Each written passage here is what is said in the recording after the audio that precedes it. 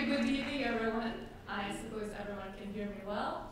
Um, I'm pleased to welcome you to the seventh program in the Kupferberg Center um, NEH-sponsored colloquia, which was organized this year in response to the global refugee crisis. My name is Mirna Lekic, and I'm an assistant professor of music here at Queensborough. Um, I've been working on this series this year with my um, two colleagues from the English department, Kat Alves, who I see there, and Aliza Atik. All right. and Dan Leshem and Marissa Hollywood Berman of the Kupferberg Center, who I hope are here as well tonight. Um, tonight's program is going to continue our transgenerational and multidisciplinary exploration of the themes of exile, displacement, mass violence, and genocide. Um, and we will be doing so through related musical compositions. Um, before I begin, I would like to ask you to silence your phones and also to hold your applause until the end of each segment. Um, I will speak before each one of it. Um, we open with a selection of exile-inspired songs that span some 200 years.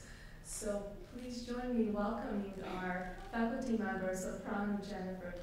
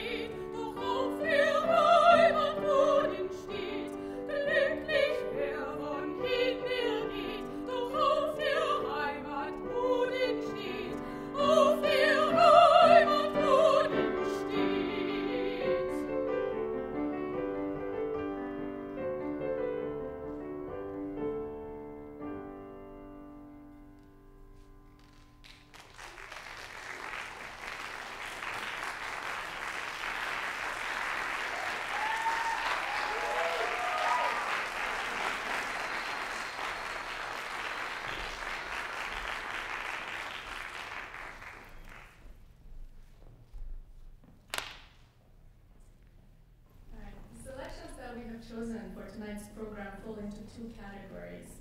Uh, we have pieces inspired by the theme of exile or pieces that were created in response uh, to genocide. And we have personal testimonies of composers who were themselves refugees.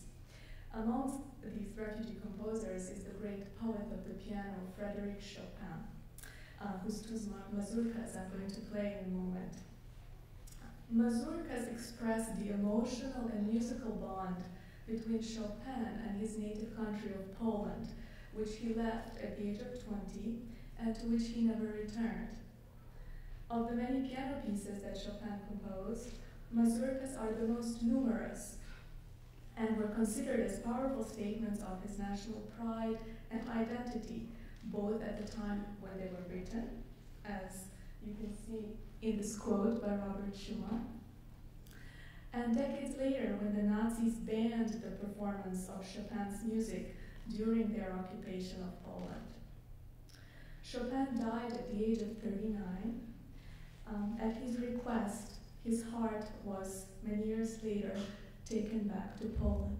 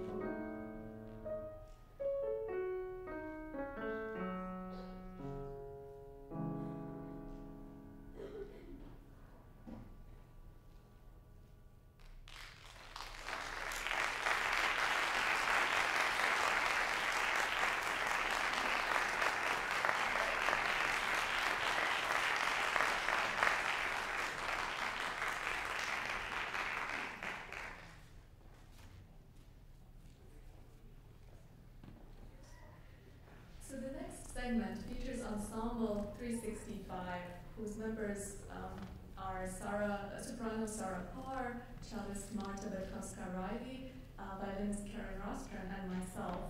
Um, and we premiered the next piece in February of last year.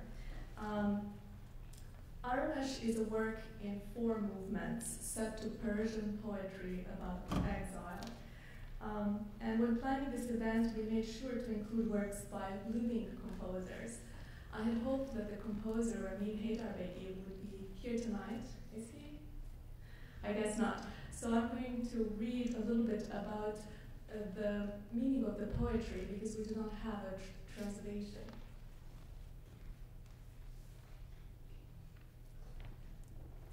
This is what Ramin had written for me a while ago. Um, can we have the slide with the. Thank you. All right. So we have the first poem, uh, which translates to atop his boat. And this poem describes the dilemma of the boatman, the struggles in the middle of the ocean, and the unease of being on shore.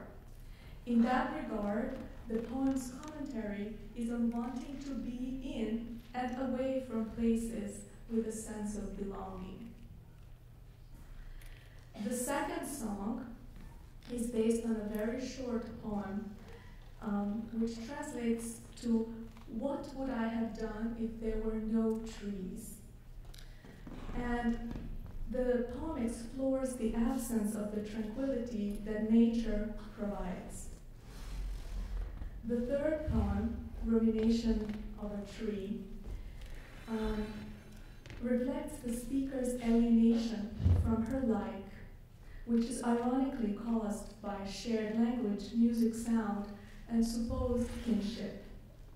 The three wishes to replace those, the tree, I'm sorry, wishes to replace those seemingly close to it with passers-by who long for taking momentary refuge in its shade. And the last poem questions why we bring calamities upon ourselves. The poem comes to an end when the poet acknowledges that in absence of an answer, the silence is as destructive as our own actions. So please join me in welcoming members of Ensemble 365.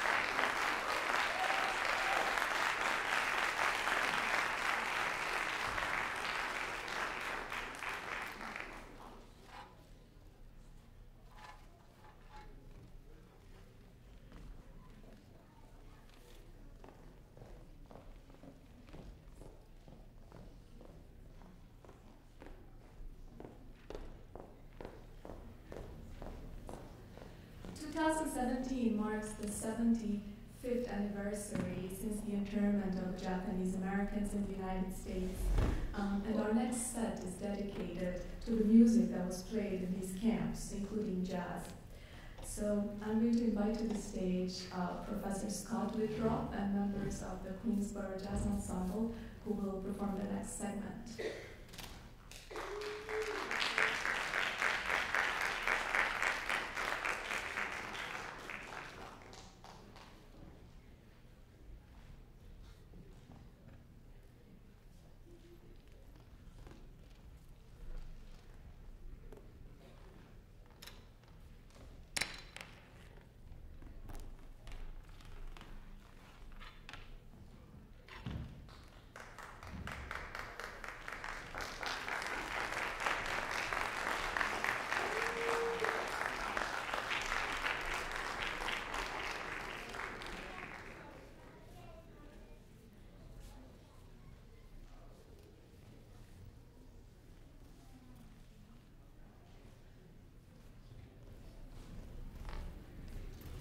Hello, uh, good evening. Um, so while we're setting up for, uh, for our performance, I just have a few words I'd like to say.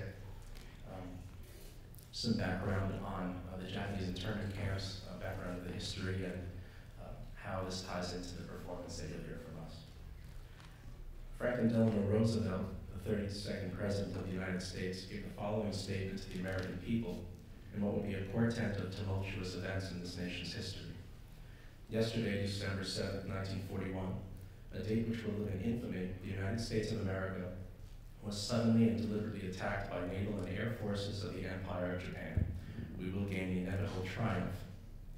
The bombing of the U.S. naval base at Pearl Harbor, with an aftermath of over 2,000 deaths, 1,000 wounded, and the sinking of 18 vessels, forced the United States to enter the already escalating events of World War II. The domestic reaction to the attack, while largely focused on mobilizing war efforts, also included an extreme response by the federal government to growing racist sentiment against Americans of Japanese descent and Japanese American immigrants, who were fast becoming the unfortunate and undeserved targets of a formal campaign to preemptively place blame for undermining the American war effort, charged only with the crime of being ancestrally related to those who carried out the attack the legislation known as Executive Order 9066 authorized the U.S. military to designate any civilian areas in the continental United States as military areas. February 2, 1942, the date of the signing of this order, is a date which also lives in infamy, as the day the United States allowed in modern times for members of its population to become unfree within this free nation, as the order provided the U.S. military with rationale for displacing between 110 and 120,000 Japanese Americans from their homes to be forcibly incarcerated in government-built camps under the suspicion that they might subvert American war efforts. Over 60% of those displaced were born in the U.S., and the remainder had immigrated legally. Um, on the uh, next slide is a brief timeline of events. Um, neglectful conditions within the camps reflected the depressed and desperate sentiment among those wrongfully incarcerated. Situated throughout a dozen remote locations in the western United States, this dire circumstance was often described among the displaced using the Japanese expression shikata ga nai, which means nothing can be done, a phrase also carrying an additional meaning of maintaining one's dignity in the face of unseeming, uh, insurmountable odds. Constructed of cheap materials and often without basic amenities such as working plumbing, entire families were forced to live in single-room, cramped quarters. Preventable illnesses such as food poisoning, typhoid, smallpox, and dysentery persisted in part because of understaffed and inadequate medical care. The 30,000 children among the displaced families attended woefully underfunded schools taught by other displaced Americans for very low wages and without adequate supplies.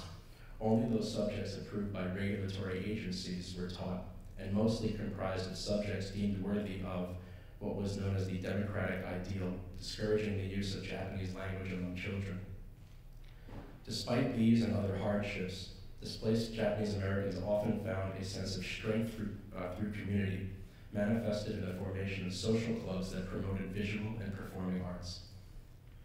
Through jazz, which was an American popular genre approved by government agencies as intended as, quote, Americanization of displaced, jazz and other genres were already widely popular among Japanese Americans. Musical instruments though often of poor quality, were provided to those who desired to perform. Engaging in dance parties became a common occurrence and was later cited by survivors as one of the few pleasures afforded to them during this difficult time. It may seem surprising then that traditional Japanese musical culture thrived among these social clubs. The teaching and performing of traditional music, dance, and culture, alongside the availability of American popular culture, served as a poignant reminder that within the internment camps, an entire population had been forced to exist simultaneously between two worlds at once while being deprived of both. The following performance represents some of the music that may have been heard in the internment camps. Music provided a catharsis from the struggle to survive in a senseless situation. Music also helped Japanese Americans robbed of their rights to maintain cohesive community and persevere through a time of great hardship. We thank you for the opportunity to participate in tonight's event, and we hope you enjoy the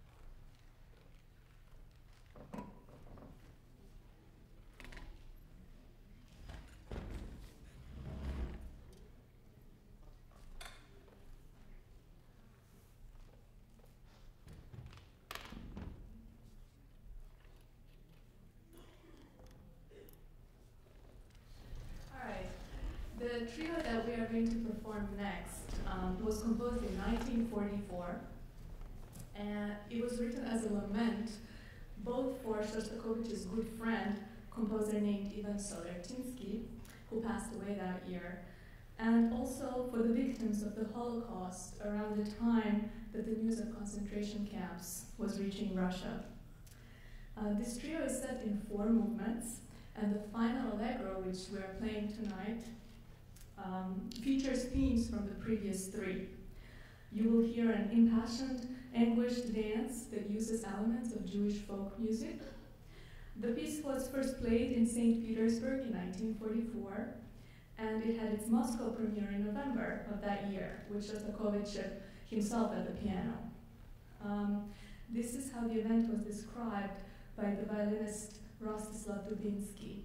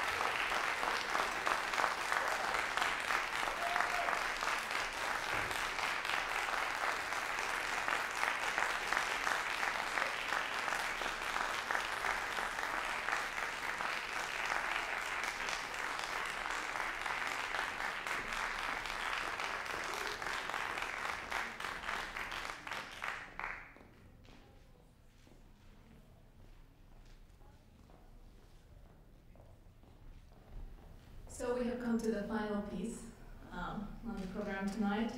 And this piece is also a piano trio, which features tape or pre-recorded sound, because tapes, you know, are kind of old-fashioned. Um, it was commissioned by the series and the NEH grant, um, and we had asked composer Andre Berger, who is a faculty member here, um, to create a work that incorporates material from the Stonehill archive of Jewish melodies that were brought to the US by Holocaust refugees. Um, this piece was to demonstrate how real world artifacts that survived genocides through refugees can live on in a new creative work and honor the memory of the victims. So Andre is here tonight. He has been helping me with the slides. Uh, and, and I would like to invite him to say a few words about the piece.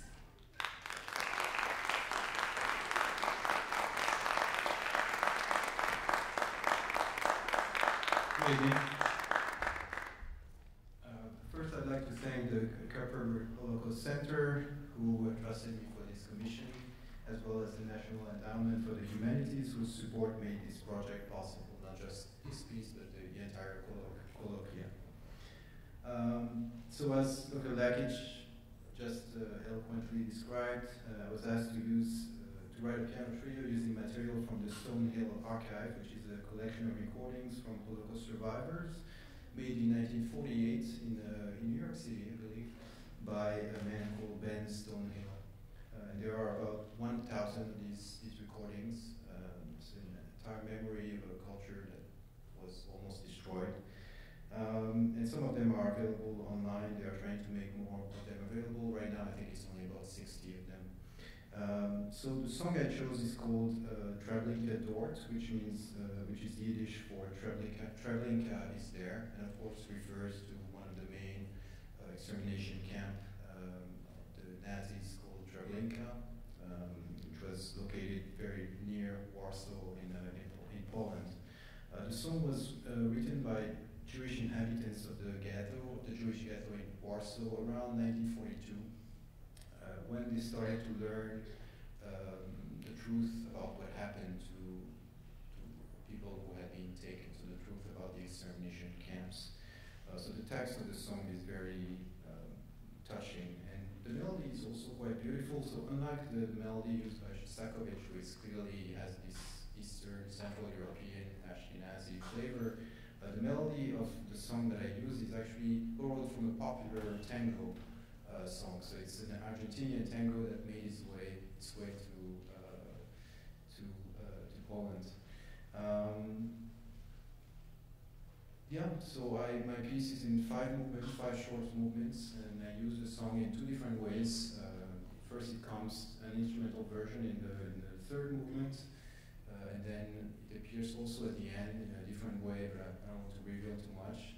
Uh, the piece is for piano trio and tape. So tape means means that my piece uses pre-recorded sounds. So of course today we don't use magnetic tapes anymore, but composers starting to use recorded sounds, uh, started to use recorded sounds in their music around the 50, 1950s, 1960s, and at the time they used magnetic tapes, which is why uh, we, still use the term tape as a tradition, but obviously we're not using tape anymore.